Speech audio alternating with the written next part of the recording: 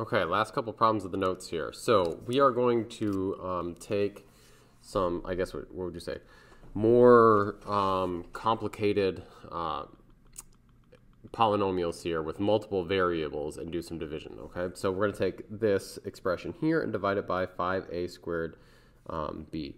Now, you can do long division with this, but honestly, I think it's easier to set it up as a fraction and then divide accordingly. So I'll show you what I mean by that. I'm going to take 15a cubed b to the fifth minus 35 a to the 9 b squared. Students just typically um, are not huge fans of long division. So, um, so if you set it up as a fraction like this, you can break it into multiple smaller fractions by taking 5a cubed b over 5a squared b and then minus 35 um, a to the ninth b squared over 5a squared b and simplify it that way. So it will look like this. Let's see if I can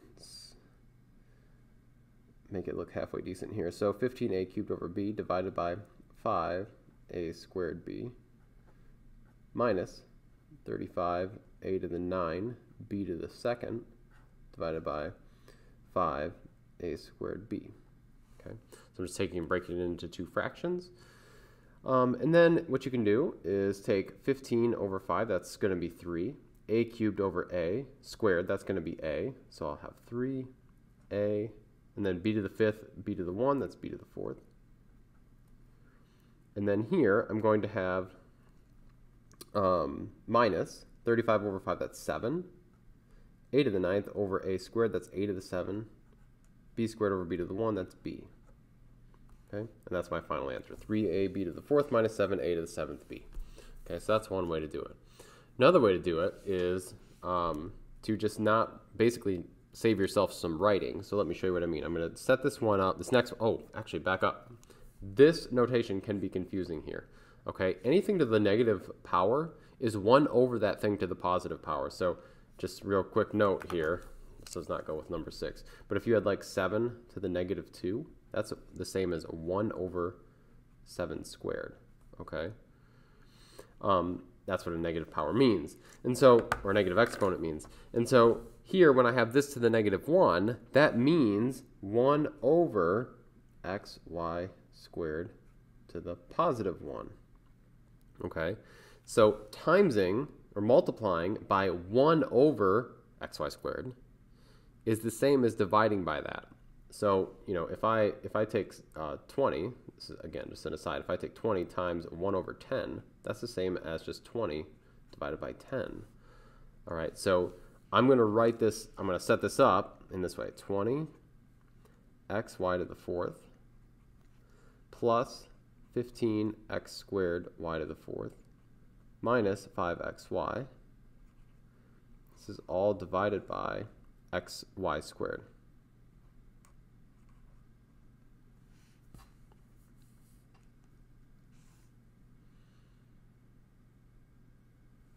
Okay. So now, instead of writing this out as um, several different fractions, I'm just going to remind myself, this is, by the way, this is kind of a shortcut a little bit. I'm going to take the first divided by this, the second divided by that, and the third divided by that. I'm just going to write those out. Okay, so 20 over x, 20xy to the fourth over xy squared. So 20 over, well, there's a 1 here that we just don't usually write. That'll just be 20 x over x, that's just 1 over 1. And so that's, uh, they essentially cancel out there like that. Um, and then y to the fourth over y squared, you'll be left with y squared. Next one, 15 over 1, that's just 15, so plus 15.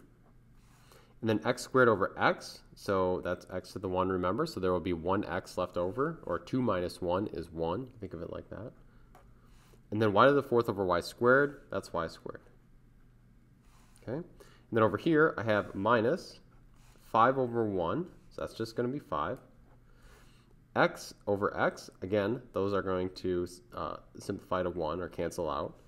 And then here I've got y to the 1 divided by y squared. That's going to be 1 minus 2, so y to the negative 1 as your final answer, or as your answer. And then the book says, and I kind of agree with them, that you should your simplified form is where you've gotten rid of all negative exponents. So I think you should end with your answer as 20y squared plus 15xy squared minus 5 over y to the 1 power. And because y to the positive 1 power. Because remember, y to the negative 1 is the same as y to the positive 1 in the denominator. Okay? And that finally wraps up section 4.3.